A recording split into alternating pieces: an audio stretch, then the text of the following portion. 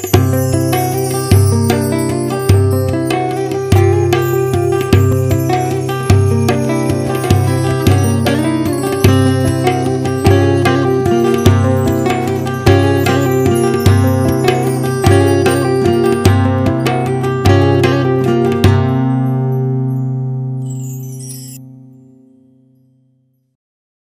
svolta presso la sala consigliare della provincia l'assemblea dei sindaci della provincia di Teramo, all'ordine del giorno la sicurezza dell'acquifero del Gran Sasso, valutazione ed azzenamento dei rischi di incidenti connessi ad attività potenzialmente interferenti. La convocazione dell'assemblea è stata decisa dal presidente di Sabatino dopo aver ascoltato i sindaci e le associazioni ambientaliste in vista dello svolgimento all'interno del Laboratorio Nazionale di Fisica Nucleare del Gran Sasso l'esperimento SOX, gestito da un pool internazionale di istituti di ricerca, esperimento che prevede l'utilizzo di fonti radioattive.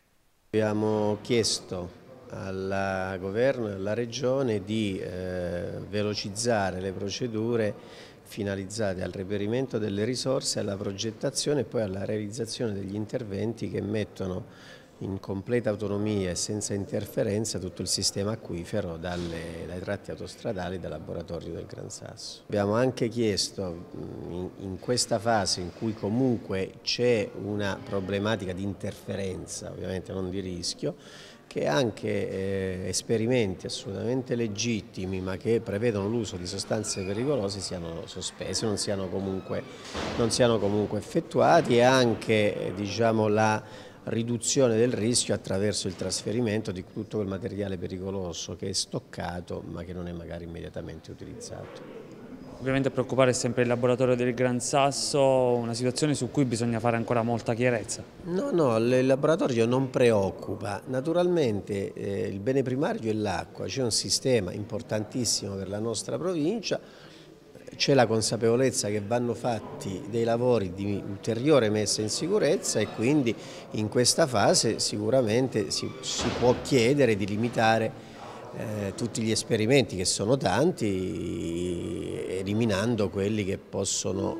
diciamo, che prevedono l'utilizzo di sostanze pericolose. Non è una questione contro la scienza, assolutamente no, l'istituto è un'eccellenza in Italia, è uno dei pochi istituti diciamo, anche di, riconosciuto come di istruzione superiore, vogliamo però che tutto questo avvenga in condizioni di sicurezza per tutti, compresi, comprese le persone che lavorano nei laboratori.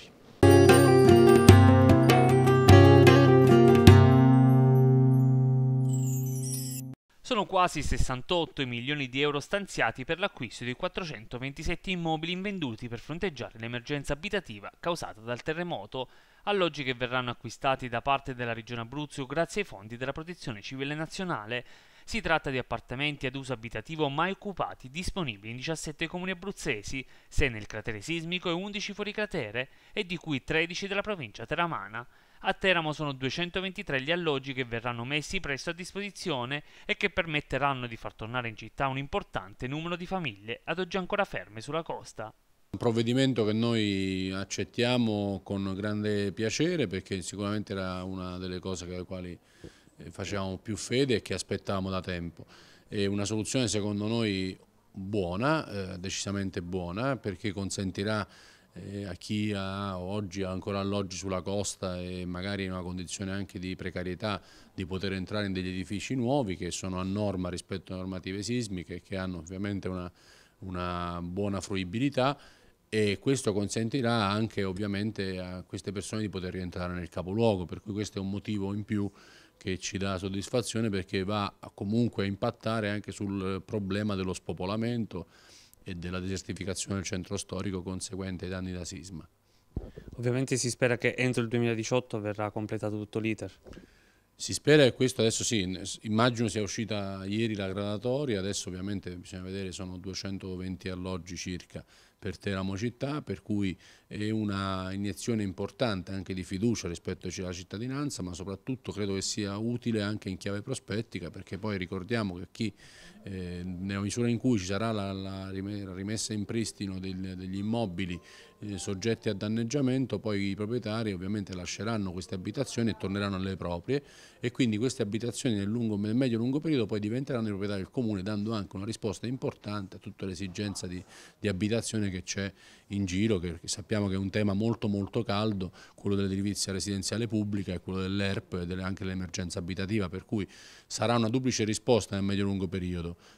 che ci consentirà anche di avere poi finalmente degli alloggi disponibili per chi eh, ovviamente in condizioni di indigenza e di disagio e può usufruire di questa, di questa, possibilità. Per cui la norma sicuramente la, ripeto, la, la apprezziamo, riteniamo che la Regione abbia, fatto, abbia avuto un'ottima intuizione su questo, ora ovviamente sollecitiamo la Regione sui tempi, è molto importante che i tempi siano ristretti perché adesso il bando finalmente è stato pubblicato e la gradatoria che, insomma, che, ci, siano, che ci sia una velocità anche di assegnazione di questi immobili.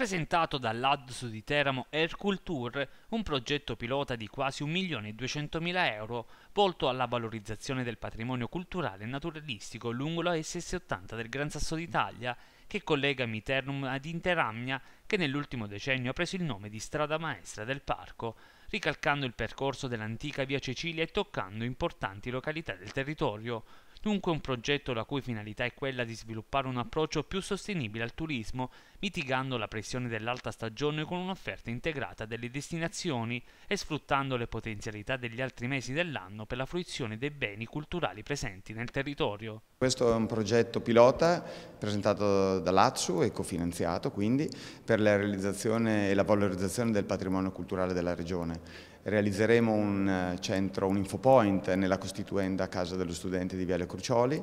per consentire quindi di valorizzare il patrimonio eh, artistico della città, nello specifico quello del teatro e i due teatri, quello di Amiternum e quello di Teramo, saranno quindi virtualmente collegati da questo percorso culturale. Nella costituenda eh, residenza universitaria di Viale Crucioli collocheremo anche realisticamente uno spazio espositivo, una pinacoteca di concerto con l'Università di Teramo e quindi quella eh, realtà, quella residenza universitaria diventerà uno spazio culturalmente attivo, dinamico, offerto non solo agli studenti ma anche alla città. L'occasione per creare ulteriori borse lavoro per i ragazzi e quindi un'occasione sia parte economica ma anche professionale per accrescere crescere e, e, avviarsi nel mondo del lavoro. Le risorse sono interessanti, sono 1 milione e 170 per tutti i partenariati, sono sette partner, si creerà una sorta di club sostanzialmente tra, questi, tra i partner per promulgare e per creare questo territorio, di stagionalizzare il territorio, che è l'Adriatico poi. Il nostro è un tassello all'interno di un progetto più articolato e questo tassello partecipando a questo, a questo club sostanzialmente promuoverà questa parte dell'Adriatico a livello eh, europeo e mondiale per creare dei pacchetti turistici per destagionalizzarli. L'obiettivo è quindi di creare questo percorso che virtualmente collega, virtualmente, ma anche fisicamente collega la Miternum con Interamnia sulla ex statale 80 e su questa ex statale 80, sulla statale 80 si creeranno dei pannelli con dei Q-code che per la possibilità di poter vedere quindi nel raggio di circa una decina di chilometri da,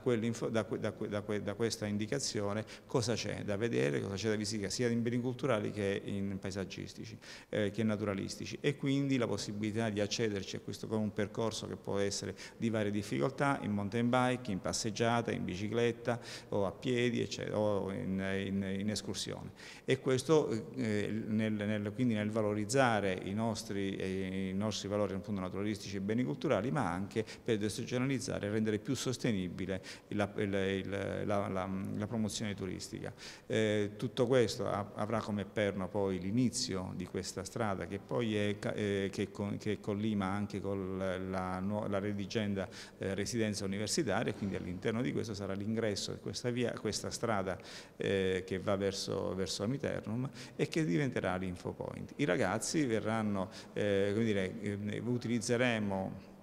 eh, le borse lavoro per coinvolgere gli studenti universitari e quindi farli accrescere insieme a noi su questo percorso. Tempistiche? Eh, pensiamo di firmare il, il, il, contratto per i primi mesi del prossimo anno e quindi conseguentemente poi sono 18 mesi di tempo per realizzare l'opera.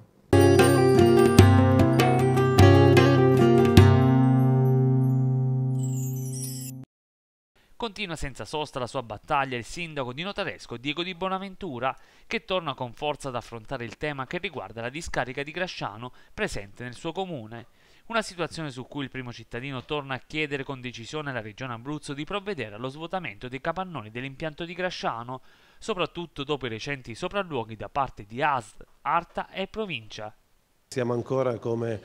anni addietro, come la scorsa primavera, perché ecco, il 27 ottobre c'è stato l'ultimo sopralluogo congiunto di Arta, Provincia e per fortuna stavolta la ASL è venuta pure perché eh, si accorge che c'è un impianto di rilevanza eh, problematica per l'ambiente circostante e quel verbale di nuovo confermato che ci sono ammassi di rifiuti, ci sono odori molesti e possibilità di inquinamento. Ecco, ho chiesto proprio ieri un incontro alla Regione perché esigo dalla Regione un'ordinanza di rimozione di tutti i rifiuti. Io ho una sola richiesta che faccio, una sola esigenza come sindaco del mio territorio, ma lo faccio per l'intera vallata, la rimozione dei rifiuti perché voglio che quell'impianto sia pulito una volta per tutte e poi aspettiamo la buttata giuridica amministrativa perché è giusto che la giustizia faccia il suo corso, ma faccia il suo corso con un impianto che sia pulito e che non crea più problemi per l'ambiente, sia per Notaresco che per tutta la provincia provincia di Teramo.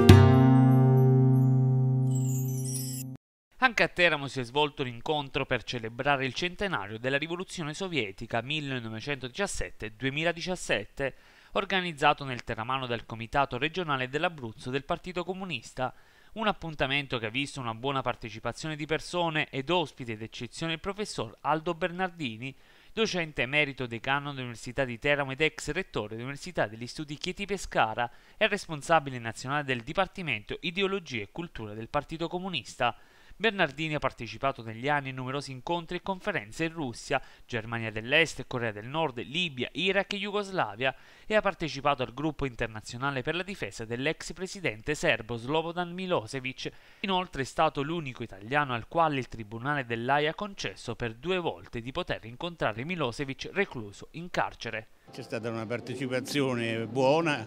a questa nostra manifestazione che vuole ricordare che la rivoluzione di ottobre del 17 con il suo seguito, cioè con la costruzione dell'Unione Sovietica e quello che questo ha significato nella storia mondiale,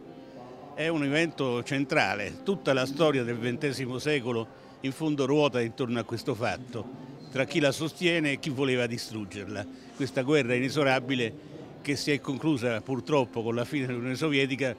essenzialmente per una caduta dall'interno, e cioè perché appunto la dirigenza è venuta meno, la dirigenza sovietica,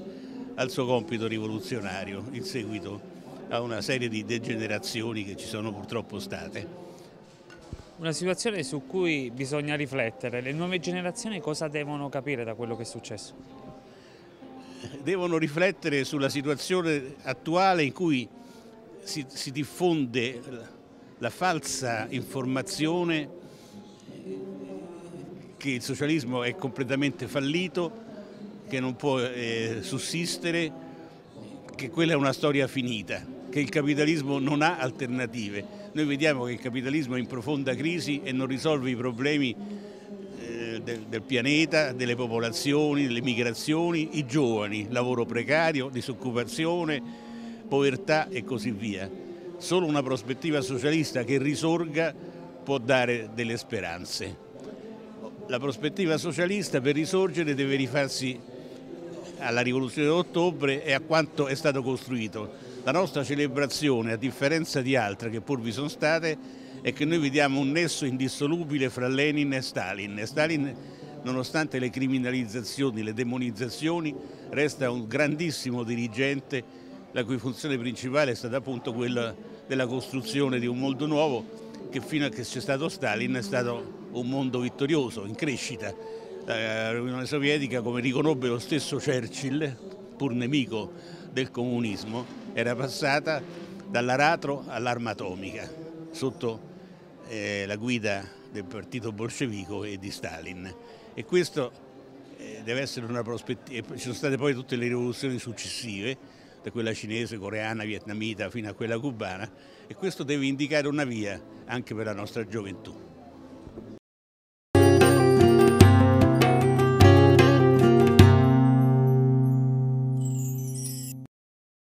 È arrivata dal Ministero dell'Interno e delle Finanze un'ottima notizia per il primo cittadino di Teramo, Maurizio Brucchi, che gli permette di poter continuare il suo mandato almeno fino alla fine dell'anno. Il documento infatti inviato dal Ministero consente ai primi cittadini rientranti nel cratere sismico una proroga fino al 31 dicembre 2017 per l'approvazione del bilancio. Un'ottima notizia per Brucchi che avrà a disposizione più di un mese di tempo per provare a mettere una toppa alla sempre più precaria situazione che si è venuta a creare dopo l'abbandono della maggioranza da parte del gruppo dei consiglieri gattiani di Futuro In a cui si sono aggiunti anche i tre assessori della stessa area, le cui deleghe tuttavia sono già state redistribuite tra gli assessori senza contare gli ulteriori 20 giorni che in caso di mancata approvazione verrebbero concessi dal prefetto. Un vero e proprio colpo di scena che permetterà al sindaco Brucchi di avere altro tempo utile per provare a raggiungere i numeri necessari. Intanto nella redistribuzione degli incarichi a Mirella Marchese è stata aggiunta la delega della pubblica istruzione, a Mario Cozzi quelle ai lavori pubblici e a Valeria Misticoni le politiche sociali, mentre resteranno in mano del sindaco quelle relative alla pianificazione strategica, ai rapporti con università e le amministrazioni, gli organi dello Stato, le comunicazioni istituzionali, i rapporti con il Consiglio Comunale, la protezione civile, la cultura. Una situazione questa che potrebbe tornare a proprio vantaggio, visto che l'assottigliamento della giunta era stata una delle richieste alla base dell'allontanamento di diversi consiglieri scontenti.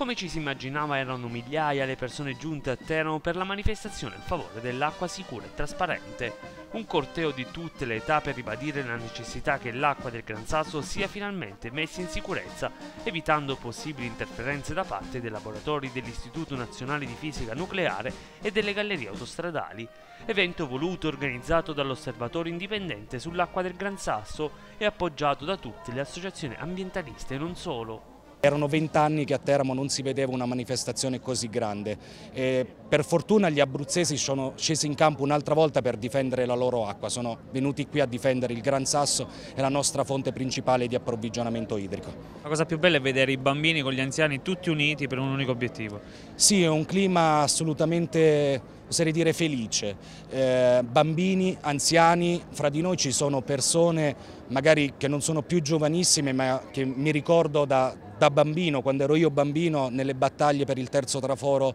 eh, sul Gran Sasso. Eh, è un momento eccezionale, siamo riusciti veramente a mettere insieme tutti, ci sono praticamente tutte le principali associazioni ambientaliste, ci sono praticamente tutti i comitati e gli attivisti ambientali di tutto Abruzzo, ma soprattutto ci sono tanti cittadini di Termo e questo veramente ci ha stupito. Una cosa positiva è anche la presenza dei sindaci. Sono praticamente tutti, eh, l'intera provincia che cercherà di fare un ricorso contro i nuovi esperimenti, eh, sono venuti compatti. Se non è potuto venire il sindaco hanno comunque mandato un gonfalone, il vice o qualcuno delegato. Praticamente tutta la provincia di Teramo, sia come cittadini che come istituzioni, oggi è qui. Questa è una manifestazione che va nel solco delle grandi manifestazioni organizzate negli anni passati.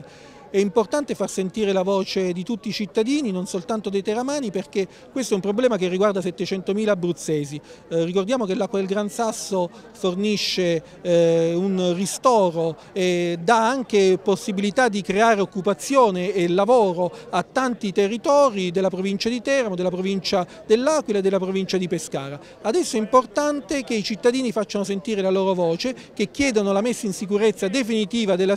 di tutta la situazione dell'acquifero e che ci sia anche maggiore trasparenza rispetto a quello che abbiamo avuto fino adesso. C'è stata una grandissima adesione, noi l'abbiamo voluto una manifestazione veramente aperta a tutti e non poteva essere diversamente perché l'acqua è un bene che riguarda tutti. Eh, chiaramente a tutti chiediamo poi di impegnarsi concretamente da domani, da dopodomani perché questa battaglia sia eh, condotta e portata a termine in maniera vittoriosa. Se non ci dovessero essere delle risposte all'immediato, questo è solamente l'inizio. Certamente noi portiamo avanti questa battaglia, ricordo dal 2002 quando per primi segnalammo che c'era il problema delle interferenze fra laboratori, gallerie e acquifero. Non siamo assolutamente intenzionati a lasciare perdere, eh, sono stati persi moltissimi anni, è necessario fare eh, ora, adesso, da domani qualcosa di concreto per mettere in sicurezza il Gran Sasso. La messa in sicurezza si fa togliendo le sostanze pericolose da dentro ai laboratori di fisica nucleare, molti esperimenti sono tranquilli, però ce ne sono due con grandi quantità, 2300 tonnellate di idrocarburi all'interno della montagna.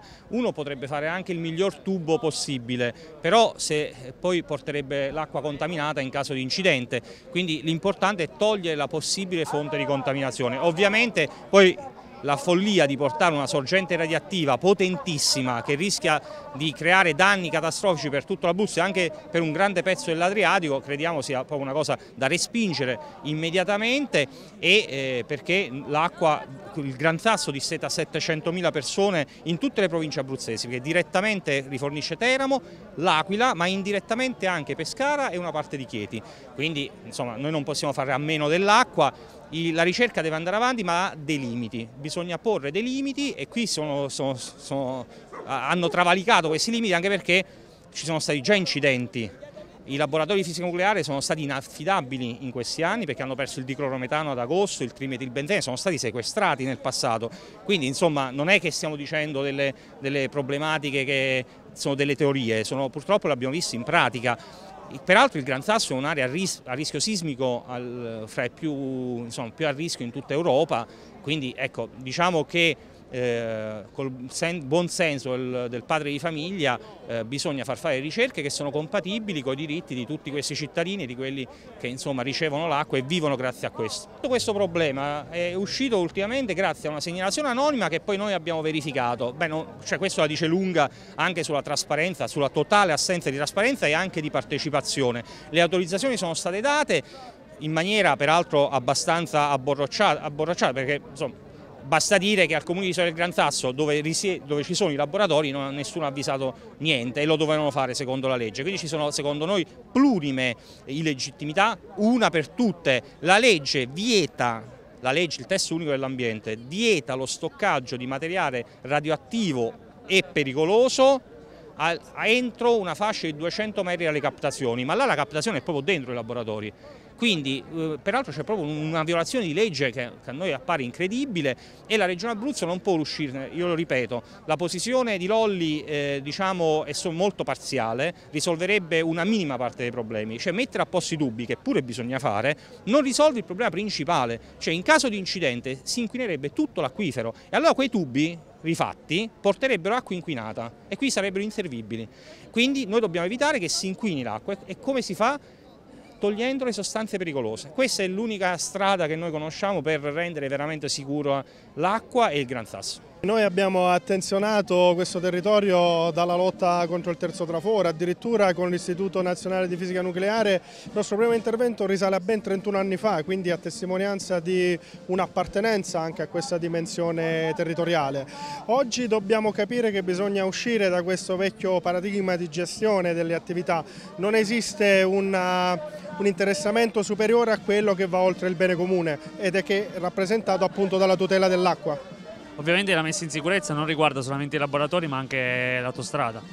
Sì, eh, noi ci troviamo nella situazione in cui uno degli acquiferi più importanti, quello del Gran Sasso, convive con la società autostrade e con l'istituto superiore. Quindi da qui la logica di rispettare i protocolli messi in campo e di cercare di abbattere il rischio che sono legati a questa convivenza. Certo è che nel passato i lavori non sono stati fatti con un certo attenzionamento, chiediamo una rapida messa in sicurezza eh, dell'area e dobbiamo cercare di ragionare in termini di trasparenza e di partecipazione con tutta la cittadinanza anche per rassicurare quella che è un pezzo importante della regione verde d'Europa. Il parco è presente purtroppo da dopo la strutturazione sia dei laboratori sia dell'asse autostradale. Se ci fosse stato prima naturalmente non ci troveremmo in questa situazione. Adesso è un problema di coesistenza strutturalmente molto difficile. Il parco ha delle competenze specifiche di tutela, lo deve naturalmente non solo ai cittadini e alla comunità identitaria che rappresenta